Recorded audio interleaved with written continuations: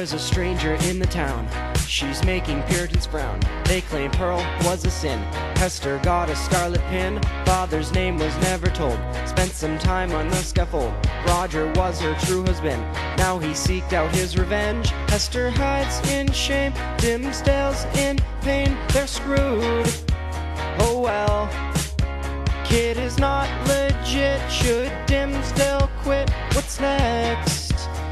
Damn. In Hawthorne's book, Hester committed a crime, and now Dimmesdale has to lie. With the latter, she looks fly. In Hawthorne's book, Dimmesdale feels a lot of shame, cuts himself cause he's to blame. Chillingworth is playing games in Hawthorne's book.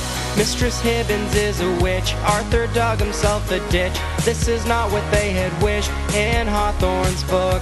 Special meeting in the trees, Hester's hair flows in the breeze. He, he, he's in Hawthorne's book. It's adultery in Hawthorne's book. It's adultery.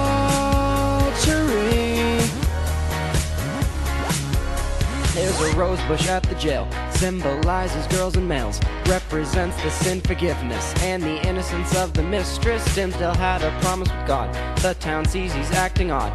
Is it something he regrets? Is it worth receiving threats? Hester hides in shame, Dimmesdale's in pain. They're screwed. Oh well. Kid is not legit. Should Dimmesdale quit? What's next?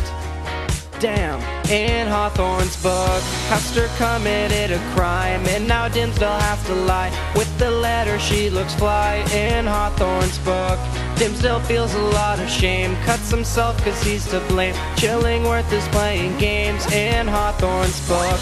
Mistress Hibbins is a witch, Arthur dug himself a ditch. This is not what they had wished in Hawthorne's book.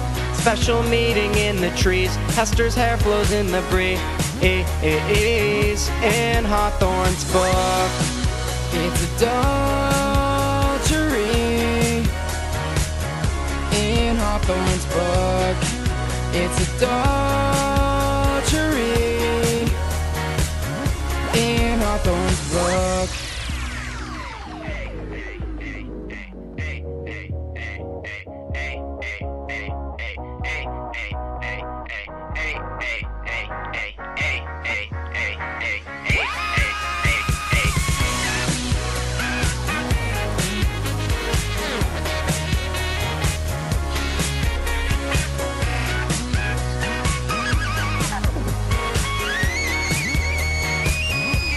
In Hawthorne's book, Hester committed a crime, and now Dimmesdale has to lie. With the letter, she looks fly. In Hawthorne's book, Dimmesdale feels a lot of shame, cuts himself cause he's to blame. Chillingworth is playing games in Hawthorne's book. Mistress Hibbins is a witch, Arthur dug himself a ditch. This is not what they had wished in Hawthorne's book. Special meeting in the trees, Hester's hair flows in the breeze in Hawthorne's book. It's adultery.